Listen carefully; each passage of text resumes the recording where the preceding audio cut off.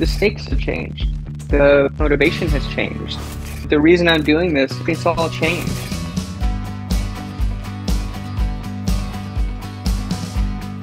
I mean, it's so wild looking back at that stuff.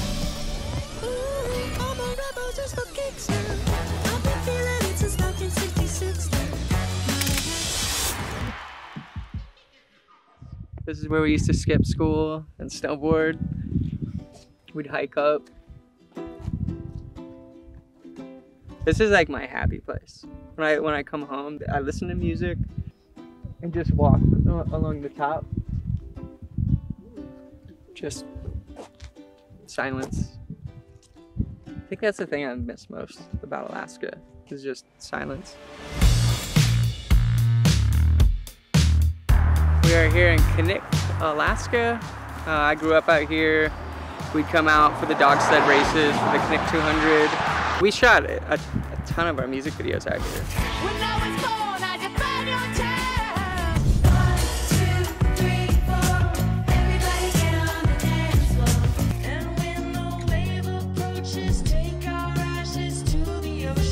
These two trees, the way they were bent, it just it looked like a soundstage.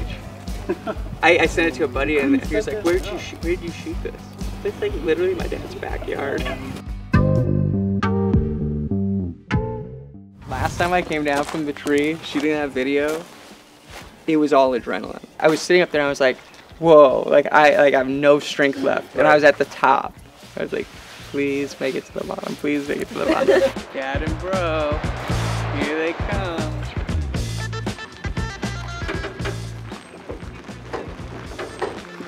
He's making it work. Throw it in there. Throw it in the back of the truck. Donnie was the best roofer, and when he started playing music, we lost our best roofer.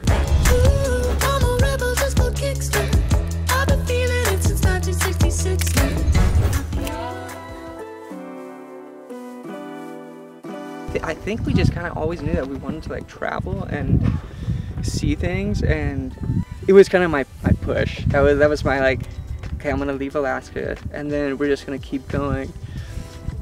I mean, we left, we left two months before our tour started. We had no money at the time, so like, I remember seeing there was a deal for two Whoppers for a dollar. We scrounged around in gutters. To me, that's like the most creative period of the band. It's like you have nothing. We we like the struggle. We like sleeping in vans and eating rice at rest stops and and it feels it feels good to look back on the journey that we've done. And the Grammy goes to Portugal, the man. Thank you so much.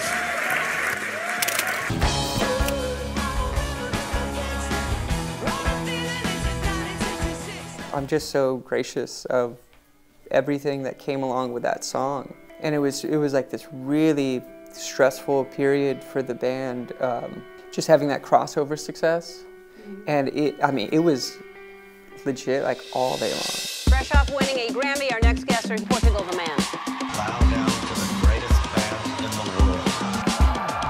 You would wake up in the morning, you'd go to do press, you'd bounce around, you'd play five soundcheck parties, and they become less of like soundcheck parties and more of just like five extra shows in the day. And it was so fun. I mean, just like it was so new for us. Like we're just doing this. I didn't even realize until the end of it. The last show we played was up here in Alaska, and the last show I just broke down in tears. Emotionally, we took on so much. We had a really great time making music together. And then pandemic. And yeah, there's just been this moment of searching for identity. And I think just priorities shifted. Just became about a family. It became more about just reconnecting with each other. I love you. Big friends. I love my We had just found out um, that Frances has this uh, very rare genetic disease. Um, she's one of six kids with her specific disease. It's really intense. I mean, it, it really like makes you think about how fragile we all are. Heavy games, can't take this back. Cause the present has a past. And this album is exactly what I'm, I'm feeling and what I wanted to make. And Frances is on a couple songs. So she sings on Time's a Fantasy. She must have felt some like spiritual connection to this song because it's so slow and it's so emotional. But Frances would hear it and she loved singing the I got a feeling it's gonna be just fine. And so like she's singing at the end, oh my god, I'm gonna try not to cry right now. Things are gonna be Just This album was really an introspective one for me personally. We're stepping out without our friend Chris. Chris was just this glue with all of our friends. I think the thing I, I, I miss the most is the way he held that friend group together. On tour it was it was really needed at that point. And, and him emceeing was just it, it just happened. Was so natural. He was at a show with us. We were playing like an in-store event in Seattle and he was just there DJing. And while we were playing, he picked up the mic and just started going, Wow, can you believe it? We're all here together. We're seeing this together. Oh my God, I can't believe it. And it was just so fun.